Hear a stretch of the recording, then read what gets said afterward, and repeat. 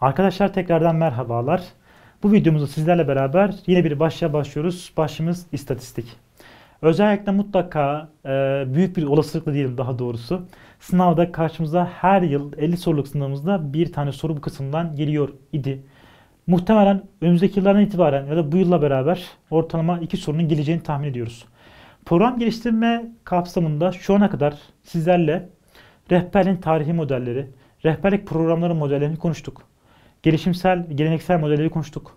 Kapsamlı PDR programını konuştuk. Program geliştirmenin aşamaları konuştuk arkadaşlar. Şimdi artık istatistik konusuna başlayacağız.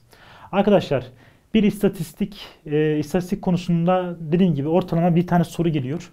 Şimdi öncelikle arkadaşlar istatistikle ilgili olarak e, bir ölçme aracında bulunması gereken özellikler neler bunlar üzerine duralım. Arkadaşlar bir ölçme aracında bulunması gereken 3 tane çok önemli bir özellik vardır. Bir güvenirlik dediğimiz arkadaşlar ölçme aracının tesadüfi hatalardan arınık olması durumudur. Kararlı olması ve aynı sonuçları vermesi güvenirliği ifade eder arkadaşlar. İkincisi geçerliktir. Ölçme aracının amacına hizmet edebilmesi durumudur. Şunu dikkat etmenizi istiyorum. Özellikle ve özellikle e, tüm ölçme araçlarında bulunması gereken en önemli özellik geçerlik çalışmasıdır.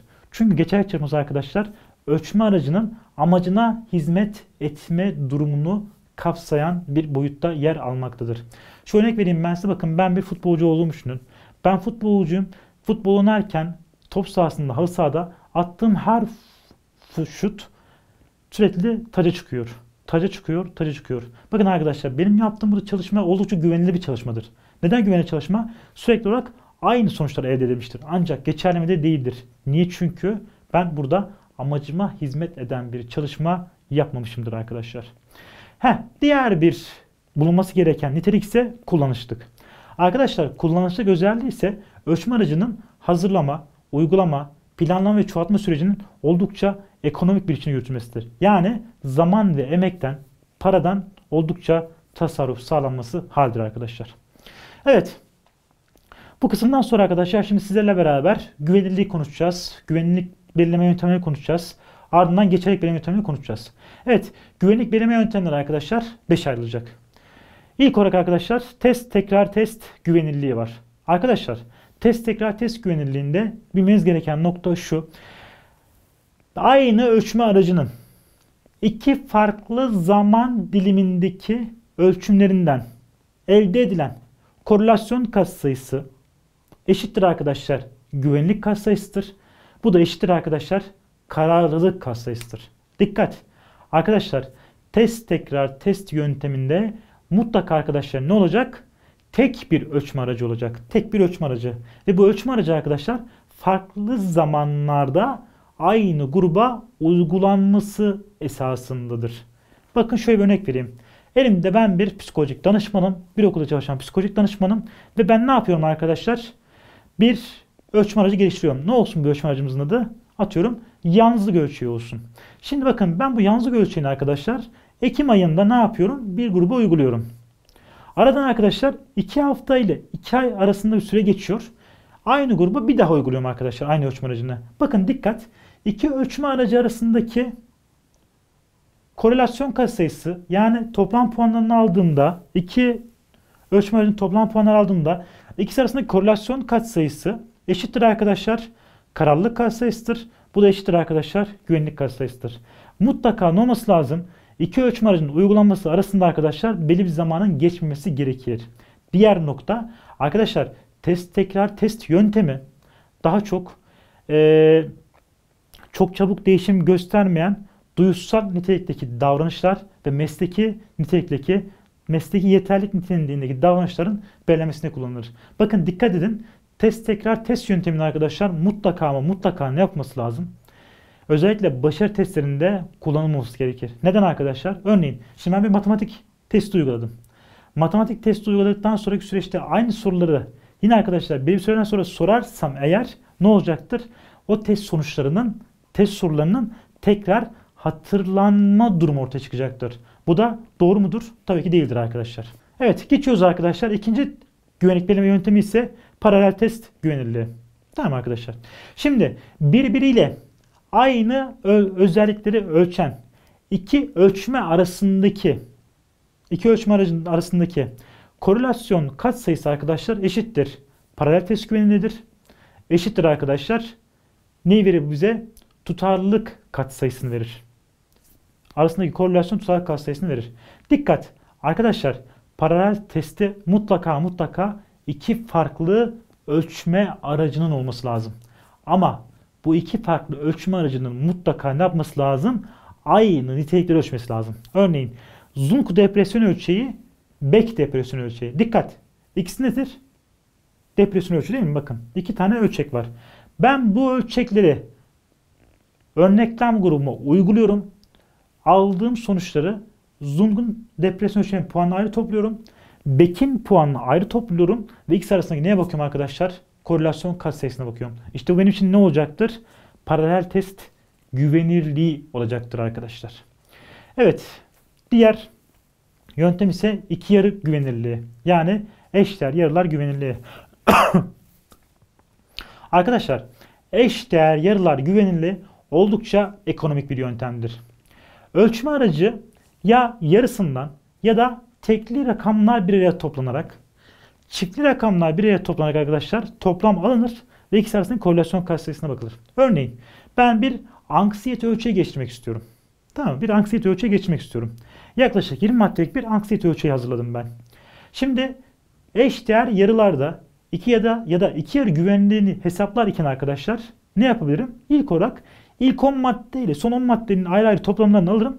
Daha sonra ikisi arasındaki neye bakarım arkadaşlar? Korelasyona bakarım.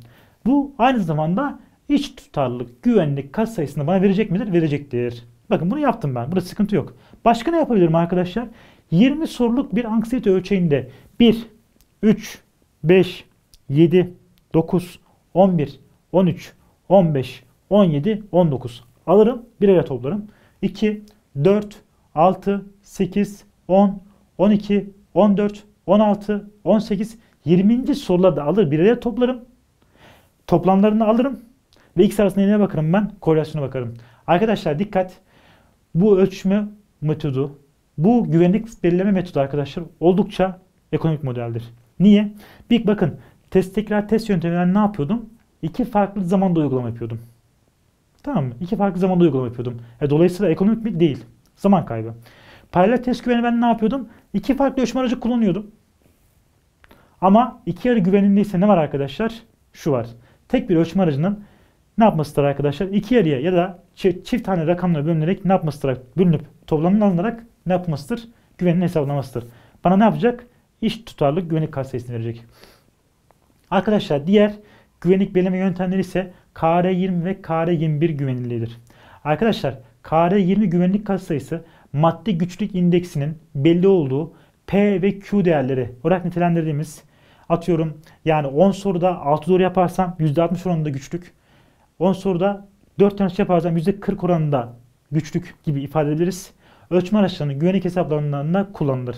KR21 ise arkadaşlar madde güçlük indeksinin belli olmadığı yani %60 oranında doğru, %40 oranında yanlış cevap gibi durumdan olmadığı arkadaşlar ölçme aracı puan ortalamaları ve varyans değerlerine dikkat alınarak hesaplama yapılır. Bunlar bize ne verecektir? İç tutarlılık katsayısını verecektir arkadaşlar. Ve son olarak da diğer bir güvenlik belirleme yöntemi ise Cronbach alfa katsayısıdır. Özellikle psikomotor becerilerin ölçümlerinde ve tutum envanterlerinin, tutum ölçeklerinin arkadaşlar güvenlik katsayısının belirlenmesinde kullanılır. Örneğin şimdi bakın ben bir basketbolcuyum. Tamam ben bir basketbolcuyum. Ben bir yetenek testi uygulanacak. Yetenek testi uygulanırken elime aldığım basketbol topunu sürekli olarak inip kalkıp atış yaparken arkadaşlar eğer ki beni izleyen kişi dikkatli şekilde uygularsa, doldurursa, puanlama yaparsa bakın burada psikomotor beceri var değil mi? Bu neyi gösteriyor o zaman? Kromba alfayı kullanma gerektiğini gösterir. Ne dedim size? Tutum ölçekleri dedim. Tutum ne demektir arkadaşlar? Duygu, düşünce, davranış eğilimleri bir durum veya olayın duygu, düşünce, davranış eğilimleri belirlemek için kullanılan ölçme araçlarıdır. O konusu Suriyeli çocuklar var. Bunda yönelik bir ölçme aracı uygulayacaksınız.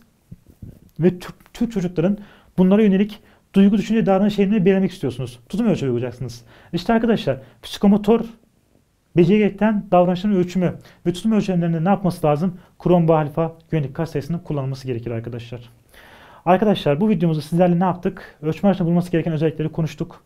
İlk olarak güvenilirlik, geçerlilik ve kullanışların tanımını yaptık. Daha sonra güvenlik böleme yöntemleri konuştuk arkadaşlar. 5 tip vardı. 1. Test tekrar test güvenilirliği. Burada ne vardı arkadaşlar? Aynı ölçme aracının farklı zamanlarda uygulanması ve arasındaki korelasyona bakılması. Paralel test güvenilirliği yani eşdeğer formlar güvenilirliği dediğimiz bir güvenlik türü. Aynı niteliği ölçen iki farklı ölçme aracının uygulanması ve arasındaki korelasyona bakılması. Bu da tutarlılıktır. İki yarı güvenilirliği tek bir ölçme aracının tek bir ölçüm sonucunun kullanılmasıdır. Anksiyete ölçü hazırladınız. 20 maddelik 10'a 10 diye böldünüz. İki yarı güvenilirdir. Ve KR, KR 21 güvenilirliği ise arkadaşlar KR 20'de P ve Q belli ise yani doğru ve yanlış cevaplama oranı belli ise KR 20 eğer ki e, madde güçlülük indeksinin belli olmadığı durumlarda ise yani puan ortalamaları ve varyans değerleri dikkate alındığı ise KR 21 kullanacaksınız. Ve son olarak da arkadaşlar Likert tipi tutum ölçekleri ve psikomotor ölçümlerin belirlenmesinde ise arkadaşlar ne yapması lazım? Kromba alfa güvenlik katsayılarının kullanılması gerekir arkadaşlar. Eğer ki bir ölçüm aracının alt ölçekleri var ise madde varyansları toplam yerine alt ölçeklerin varyansları toplam olarak alınır. Kromba alfa güvenlik katsayısı. Arkadaşlar bir diğer videomuzda tekrar görüşmek üzere. Kendinize iyi bakın. Esenlikle kalın. Hoşçakalın.